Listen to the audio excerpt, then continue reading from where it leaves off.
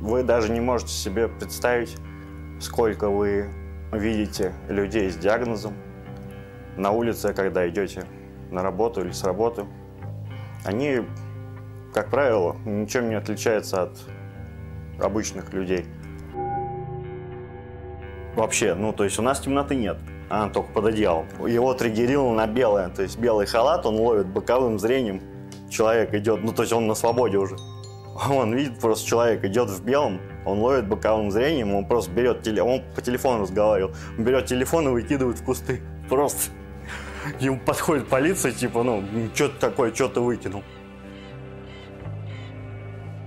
Ну, то есть я вилкой вообще не ем до сих пор. Прошло 13 лет, и я все, что ем, я ем ложкой. Вот он выписался, вышел за ворота, первым делом он купил себе нож и в электричке кого-то порезал. То есть он, он даже не выехал с поселка. Люди просто находились, ну, как говорят, да, полутюрьма, полудурка, спецдурдом.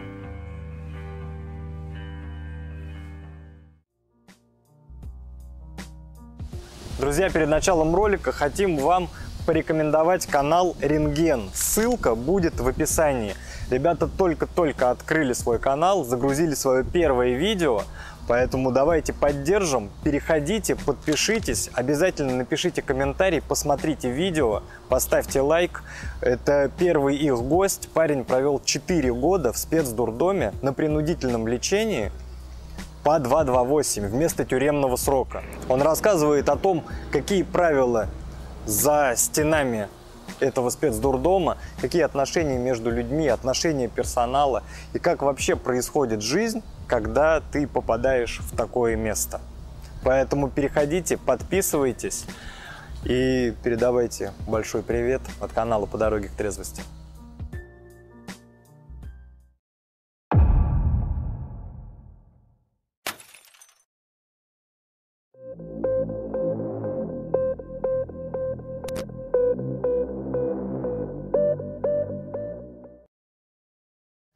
Просто из темного коридора вот так вот лицо высовывается, лысое. И вот этот пацан третий, который он укололся, блядь, в другой комнате, словил какую-то измену. Он заглядывает так к нам. Я говорю, пацаны, там пришли за мной двое, говорит, они пришли меня пиздить. И мы открываем шкаф, и стоит вот этот тип, который обкололся. Он стоит, трясется с бешеными такими глазами и стоит обоссанный. То есть он до того выхватил измену, что он просто обоссался от страха. А у него трехкомнатная квартира, и он жил один, но сдавал. То есть в одной комнате там жил квартирант откуда-то приезжий тоже, в другой жили проститутки, тоже они снимали хату. Таксист на меня смотрит просто ошарашенными глазами, я ему протягиваю эту записку, ну, делая вид, что я какой-то глухонемой, да, потому что, ну, я ни слова не могу сказать. Я беру, захожу в туалет, ну, то есть там, блядь, вода уже подступает прям.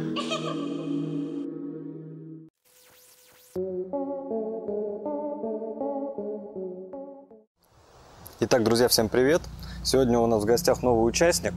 И сразу хочу сказать, что вообще мы приглашаем людей для того, чтобы они рассказывали свои жизненные ситуации без маски. Но в этой истории есть то, почему он должен скрыть свое лицо. Сегодня он нам об этом расскажет. Здравствуйте, друзья, мне 38 лет, зовут меня Дмитрий, и сегодня я расскажу свою историю употребления альфа-ПВП, той же соли и эйфории, и вообще как все происходило, и как я решил отказаться от этого и почему. Начиналось все где-то в год 2008, это конец 2008 года, когда появилась эйфория о свободном доступе, ее, то есть можно было позвонить, тебе привозили ее по звонку, э, ну, буквально к подъезду, прямо вот ты выходил, отдавал деньги и забирал. То есть сначала это было какое-то, ну, такое легкое увлечение, там, раз в неделю, там, раз в две недели. То есть э, мы нюхали, там, ходили в какие-то клубы, и все вроде казалось безобидно. Пока в один такой, так сказать, прекрасный день, это была моя новая ступень на новый уровень, так сказать, ко мне пришел друг детства, до этого он даже не нюхал вообще, то есть я не знал, что он там нюхал или как-то употреблял, то есть он там курил план и ничего более. Пришел ко мне, это уже было где-то лето 2009 года, он пришел ко мне домой в гости. Это были кристаллы, я, конечно, удивился, что человек, который не нюхал, до этого не употреблял, тут приносит, и он мне говорит, давай уколемся. То есть я вчера попробовал, То есть он попробовал вчера уколоться. То есть для меня это вообще дико было. Я как-то был против, у меня был какой-то страх определенный. Ну, то есть ты до этого не вмазывался? До этого вообще, да, не кололся. То есть, ну, была попытка, как я уже рассказывал, что там мне просто не попали в вену там, и ну, все сорвалось, да. Это там какой-то случай единичный такой был, но я не кололся до этого, только нюхал.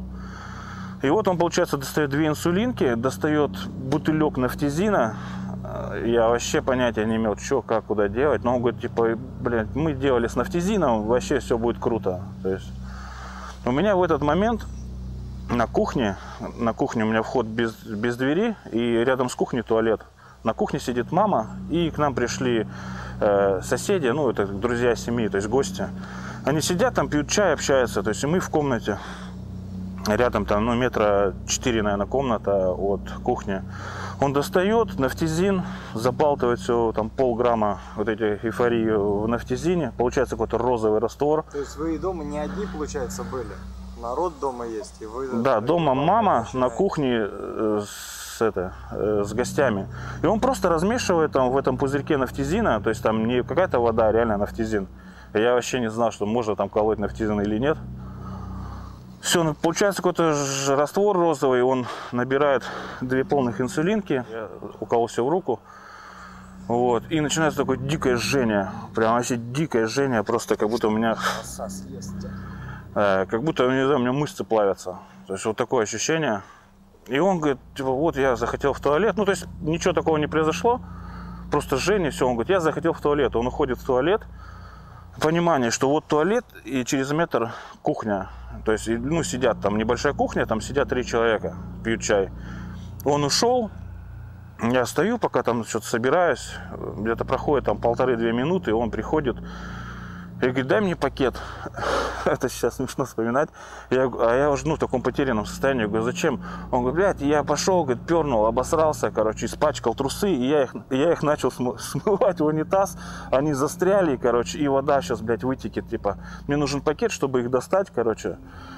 И ты понимаешь, ну, в каком я ваху, у меня сидят гости, э, то есть, и потихоньку начинает разгонять вот это вот все, то, что мы употребили. Я беру, захожу в туалет, ну, то есть там, блядь, вода уже подступает прям. Я что-то пару раз пытаюсь смыть, и оно как-то ну, каким-то чудом просто уходит все. То есть вода ушла, э, все вроде как смылось, мы заходим в комнату, все, дособираемся. Пронесло, короче. Да, и вот... Смысле. Ну, прям в прямом смысле пронесло, потому что, ну, представляешь, какой трэш у меня там гости. И я такой в таком обжабанном состоянии, там, смываю трусы. И если бы все это потекло, это был бы такой, ну, пиздец. И все, и мы одеваемся, меня э, начинает вообще сильно разгонять, выходим на этаж, курим, и я просто улетаю куда-то там в какую-то вселенную другую, просто в космос улетел. После этого случая э, частота употребления стала просто какой-то немыслимой, то есть мы покупали, кололись там по 3-4 дня в неделю. Непонятно, откуда находили деньги, потому что на тот момент с работой у меня было туго. Вот, друг мой тоже не работал, но откуда-то, как у любого наркомана, деньги всегда находятся.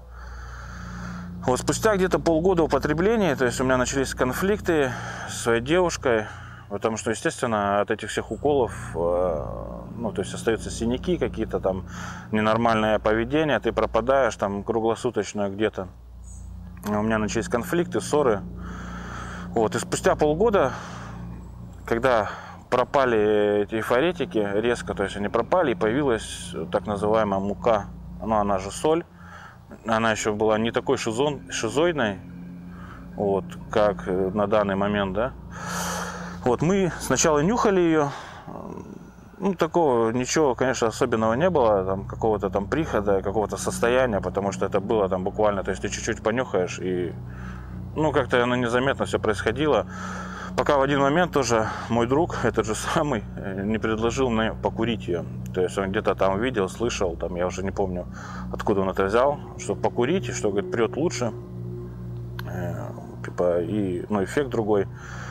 Все, мы покурили через фольгу, ну, не знаю, состояние было практически такое же. Вот, мы курить стали ну, буквально, наверное, чуть ли не каждый день на протяжении месяца, двух. Пока не произошел такой случай, что мой друг точнее товарищ с детства, который работал в Обноне, но он сейчас-то вроде как работает. Э, он принес э, нам два пакета, ну, то есть так называемой солью. То есть он понятия не имел, что там. То есть они там конфисковали, кого-то приняли, забрали, и вот он нам дал с другом. И так получается, что два пакетика, он не знает, что там. Ну, мы так посмотрели, вроде соль. То есть она белая, мука, мы особо там не, раз, не разбирались. И получается, мы разделили по пол пакета э, с другом. Живет, живет он, к слову, в соседнем подъезде. Ну, на тот момент жил. Ну вот, э, у него две половинки там разные, у меня две разные половинки. То есть я закрываюсь дома вечером, часов в 7, в соседней комнате мать. Я начинаю курить, курить через фольгу дома, просто не выходя из комнаты. А, я скурил вот этот пакет, там где-то, наверное, полграмма, буквально часа за 4, это, может за 5, но около 12 часов ночи у меня он закончился.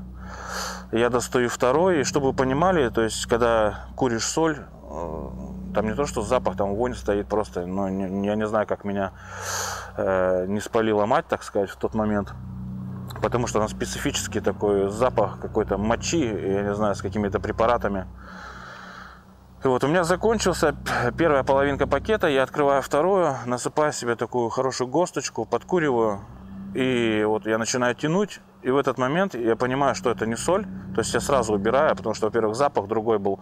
Это оказался реагент, э, с которого варили спайс. То есть он нам э, дал два пакета, он сам не знал, что там. Вот. И как бы я успел так хорошо затянуться, но вовремя остановился. У меня через несколько секунд начинает дико колотиться сердце. Я начинаю ходить кругами по комнате, выйти я, соответственно, не могу, потому что у меня там мать, и она еще как бы, ну, вот только улеглась, потому что время там было около 12 ночи. Я хочу попить, но я не могу, я понимаю, что я просто выйду, я сейчас спалюсь, потому что у меня состояние неадекватное, я хожу кругами, сердце дико колотится. Вот. Ну, то есть я думал, что сейчас умру, потому что я хотел уже вызывать скорую, потому что это ну, непонятное состояние было. Я выкидываю все с окна, вот этот остатки этого пакета, фольгу, трубки. Я начинаю, беру какой-то одеколон, начинаю брызгать в комнате, потому что, ну, воняет прям дико. Ложусь, и все, я понимаю, что я сейчас просто, ну, и я, ну, просто умру сейчас. Потому что звонить скорую, в общем, я не решился, я лег, и так получилось, что меня просто вырубило. Вырубило меня.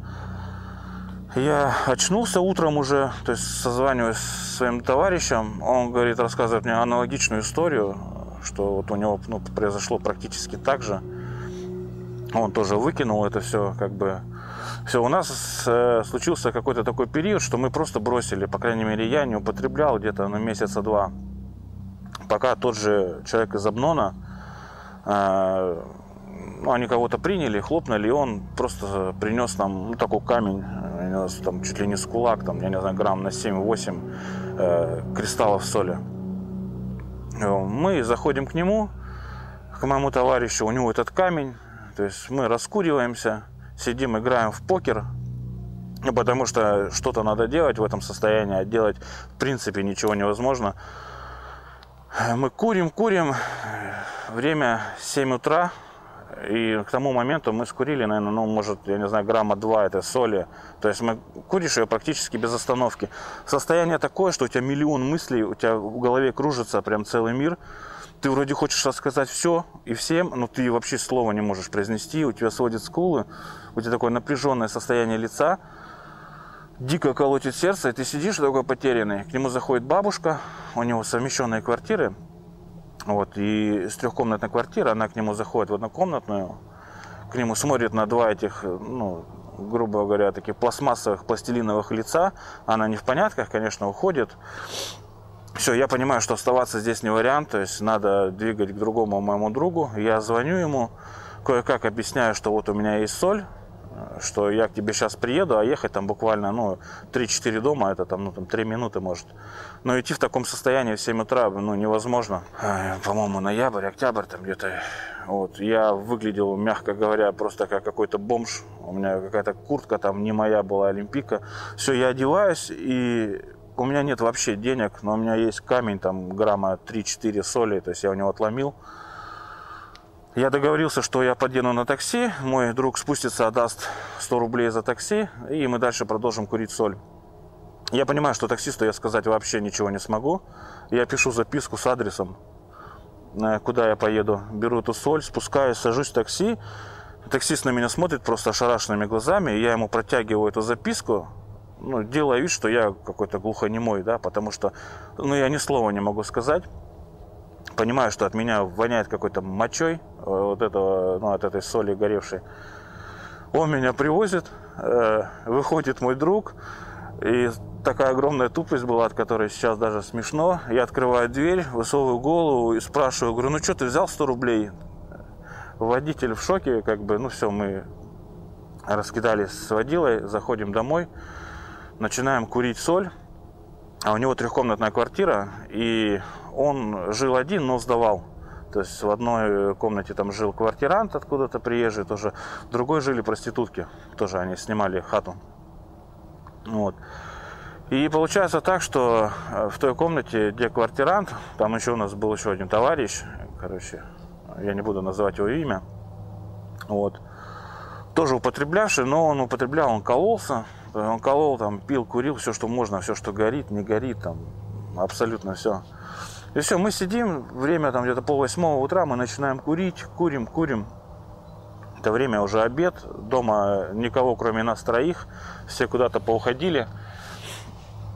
И вот, и получается такая ситуация, мы лежим, то есть, ну, у меня состояние, да, такое невменяемое, как бы, я там слово проронить не могу. И мой друг, который вот, ну, курит со мной где-то на протяжении уже часов трех, тоже, то есть мы сидим, просто играем в Соньку, давим эти кнопки, там, я не знаю, чуть ли джойстик не ломается, играем в какие-то бои без правил, потому что лишь бы что-то там как-то себя занять такая тишина, просто звук кнопок. И у него темный коридор. И просто из темного коридора вот так вот лицо высовывается, лысое. И вот этот пацан третий, который он укололся, блядь, в другой комнате, словил какую-то измену.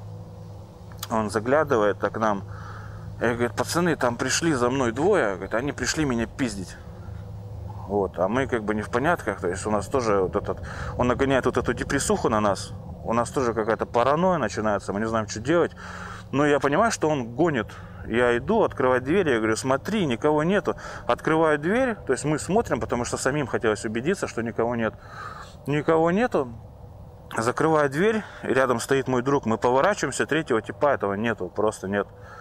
Мы открываем комнату, зал, где снимал там другой человек квартиру, стоит шкаф, и мы открываем шкаф, и стоит вот этот тип, который обкололся, он стоит, трясется с бешеными такими глазами и стоит обоссанный. То есть он до того выхватил измену, что он просто обоссался от страха. Вот, конечно, нам вроде как и смешно, но в таком состоянии, как бы там шоковом, ну, мы, ничего не смогли сделать. Просто мы стоим, вот это секунды такие, секунд 5-10, и мой друг его спрашивает, ну, допустим, его будет звать там Василий, говорит, Вася, ты что, ебанутый, что происходит?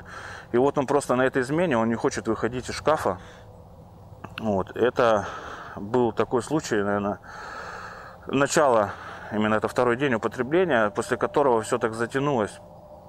Мы употребляли еще где-то дня два, просто не выходя э, с этой квартиры. Ну, то есть у меня был там достаточно большой камень до того, что заходит девочка, эти проститутки, которые снимали, там две, она заходит, но мы выходим из комнаты просто, чтобы либо ты попить воды, либо там сходить в туалет, и все, и ты просто сидишь и куришь опять, сидишь, куришь и куришь.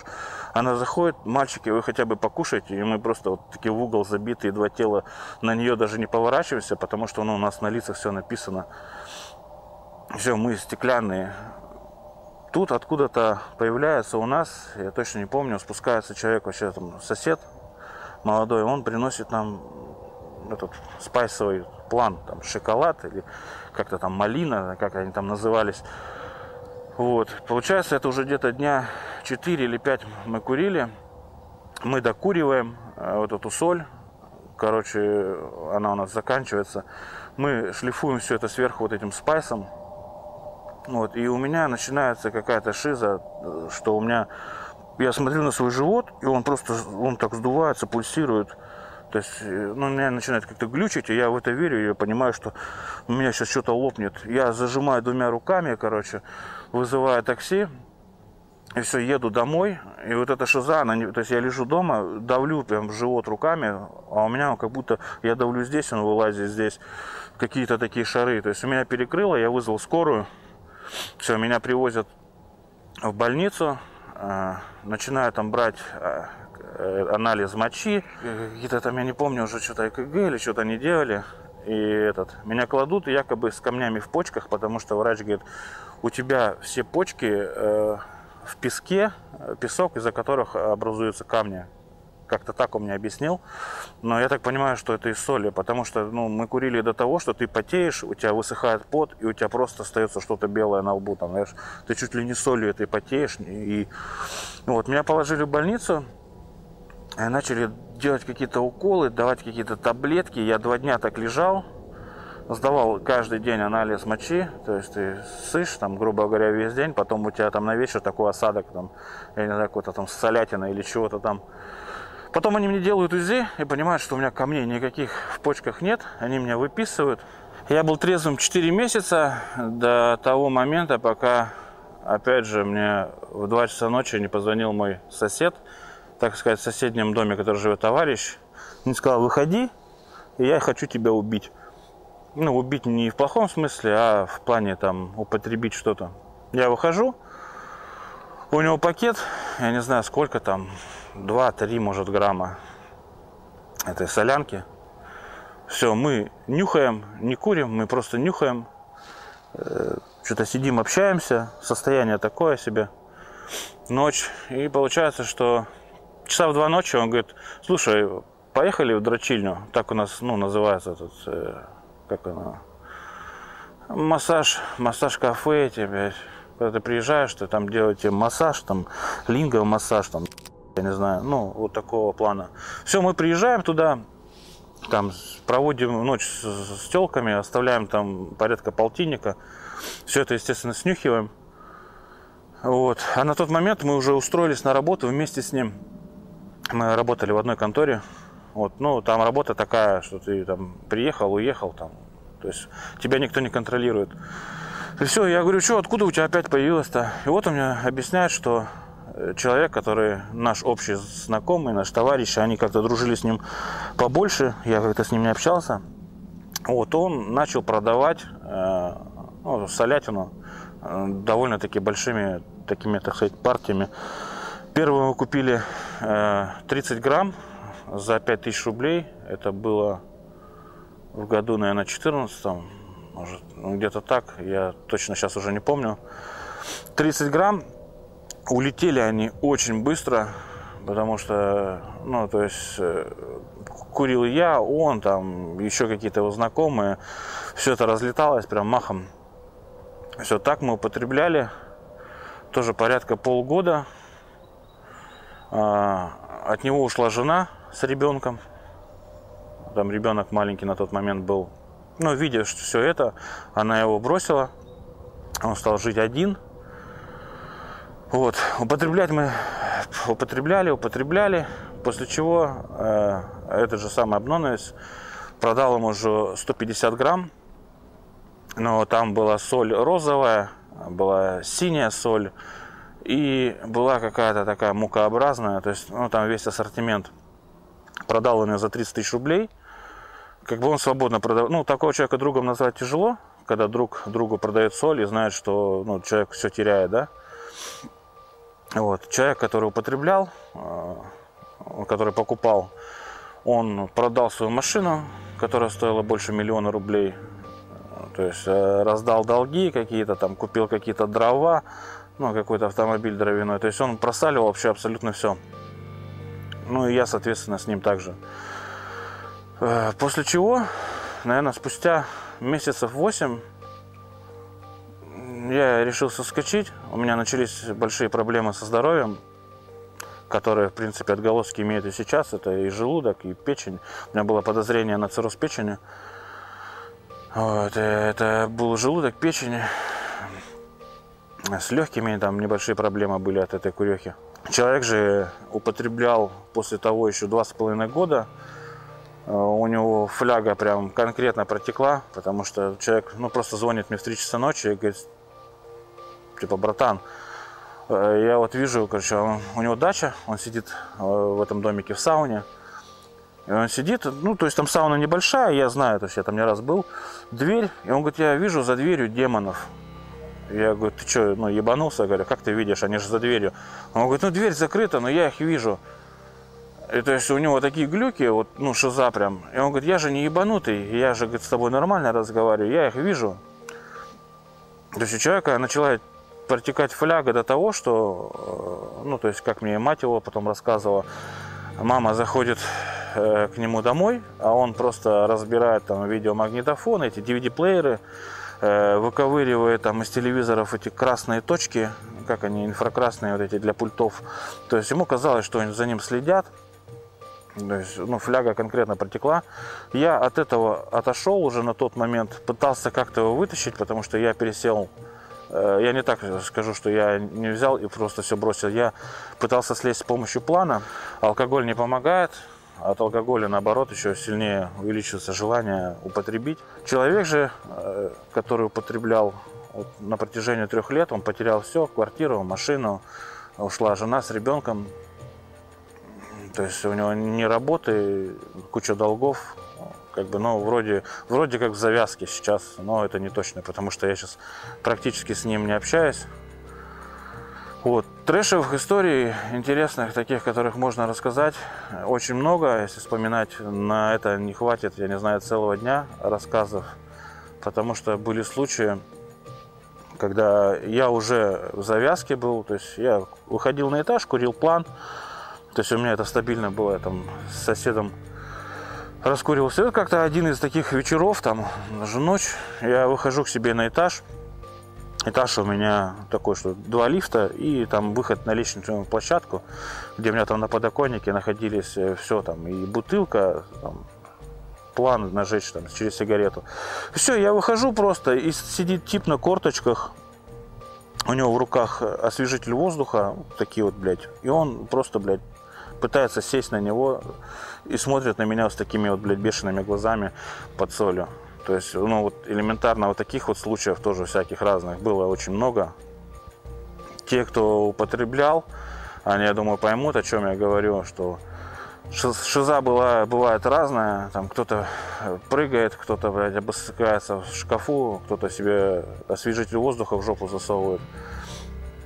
Вот. У меня шиза была один раз, только вот это с животом с этим, после которого я в больницу загремел. Вот. Подытоживая все, я хочу сказать, что я чистый уже два года не употребляю э, ни альфа-ПВП, ни, ни соль, ни мифедрон, вообще ничего. Расскажи, как ты себя чувствуешь в трезвости? Как ты вообще смотришь на мир по сторонам? Ну, трезвый взгляд на жизнь, конечно, он абсолютно другой. То есть, когда ты там употребляешь, у тебя нет никаких мыслей, э, кроме как употребить. Когда я бросил все это, то есть я там начал заниматься спортом, у меня было желание изменить свою жизнь, появилось. То есть я переехал в другой город, у меня появилась э, семья, то есть, ну, я женился, у меня появился ребенок, и какие-то планы на будущее, что да, ты там хочешь, я не знаю, купить квартиру, машину, как-то развиваться, жить ради семьи. Ну и, конечно же, там не деградировать, там, и ища закладки там, по каким-то лесам там, или собирая магниты. Знаешь, что тебя дома ждут, там, ты приходишь, смотришь на своего сына, у тебя поднимается настроение, и, конечно же, воспитывать его так, чтобы он не повторил ошибок ни твоих, ни тех людей, кто употребляет. Здоровым, счастливым человеком быть.